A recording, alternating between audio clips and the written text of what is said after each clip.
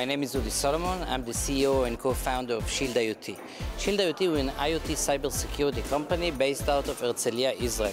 We help uh, service providers and managed security service providers uh, bridge the gap. These uh, type of customers would like to offer managed security services uh, to their end customers. This can be managing smart meters, smart city applications, uh, uh, even connected vehicles, and of course smart manufacturing.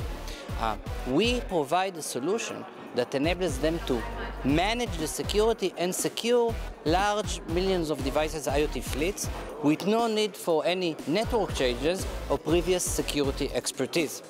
Uh, the company is operating predominantly in Europe today, working with large uh, service providers in smart uh, cities, in smart manufacturing.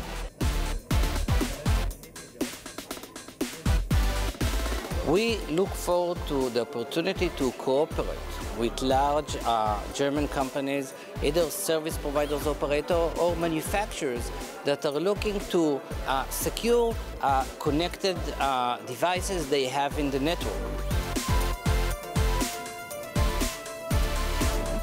Uh, we call you uh, German investors that are looking to get into this exciting domain to come uh, uh explore working with us uh, and learning about our solution using the anomaly detection that leverages patents and academic research paper with Nobel Prize winners, device level security and overall security management.